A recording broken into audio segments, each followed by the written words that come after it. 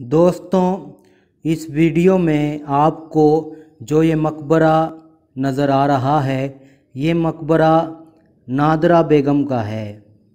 और कुछ लोग इसको बारादरी हज़रत मियाँ मीर रहमतुल्लाह ताला भी कहते हैं। नादरा बेगम कौन थी, इस हवाले से अवाम में दो मुख्तलिफ़ आरा पाई जाती हैं। कुछ लोगों का कहना है कि नादरा बेगम एक मुग़ल शहज़ादी थी, जो कि मुग़ल बादशाह शाहजहाँ की बेटी थी और दारुशिकवा की बहन थी। और इन्होंने सारी उम्र शादी नहीं की, जबकि दूसरे गिरोह का कहना है कि नादरा बेगम शाहज़ादा सुल्तान परवेज़ की बेटी थी शाहज़ादा सुल्तान परवेज़ मुग़ल बादशाह जहांगीर के बेटे थे और नादरा बेगम की शादी मुग़ल बादशाह शाहजहाँ के चहीते बेटे शाहज़ादा दारुशिकवा से हुई थी। नादरा बेगम की कब्र पर भी यही लिखा गया है कि वो दारुशिकवा की बीवी थी। बहरहाल हकीकत चाहे कुछ भी हो एक बात तो तय है कि नादरा बेगम एक मुगलिया शहज़ादी थी और मशहूर सूफ़ी बुज़ुर्ग हज़रत मियाँ मीर रहमतुल्लाह ताला अलैह की अकीदतमंद भी थीं। जिस वक्त ये मकबरा बनाया गया था, उस वक्त ये काफ़ी शानदार था और देखने से ताल्लुक़ रखता था। मकबरे पर संगे मरमर लगा हुआ था। मकबरे के करीब डेहड़ियाँ सी बनी हुई थी और एक तालाब भी था। मगर गर्दिश ज़माना से सब ख़त्म हो गया। किसी शायर ने क्या खूब कहा है कि ये अजनबी सी मंजिलें और रफ्तगा की याद तन्हाइयों का जहर है और हम हैं दोस्तों। आँखों में उड़ रही है लुटी महफिलों की धूल। इबरत सराय दहर है और हम हैं दोस्तों। इस इमारत की तामीर शाहज़ादा दारुशिकवा ने शुरू करवाई थी, मगर ये मकबरा अभी मुकम्मल भी ना हुआ था कि वो वफ़ात पा गया, और औरंगज़ेब आलमगीर ने इस मकबरे की तामीर मुकम्मल करवाई।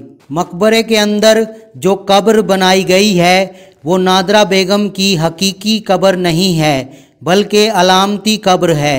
असल कब्र काफ़ी गहराई में एक तय खाने के अंदर मौजूद है। मगर असल कब्र तक जाने का अब कोई रास्ता मौजूद नहीं।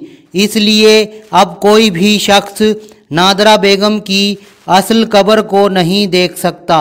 कब्र के सिरहाने की तरफ़ बिस्मिल्लाहिर्रहमानिर्रहीम लिखी हुई है और इसके अलावा मुसलमानों का पहला कलमा ला इल्लल्लाह मोहम्मदुर रसूलुल्लाह लिखा हुआ है।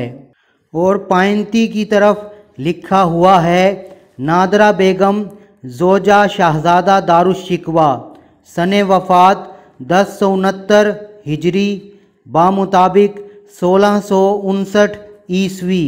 ये इबारत कुछ नई लिखी हुई मालूम होती है। हो सकता है कि अभी कुछ अरसा पहले ही लिखी गई हो। मकबरे के अंदर पिचीकारी का काम भी हुआ हुआ है। नादरा बेगम की वफ़ात के हवाले से जाए वफ़ात के बारे में भी महक्क और तारीखदान कोई एक राय नहीं रखते।